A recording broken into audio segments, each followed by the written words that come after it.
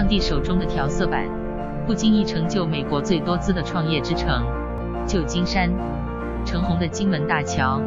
蔚蓝的渔人码头，纯白的泛美金字塔，四季色彩缤纷的九曲花街，颜色各异的六姐妹房，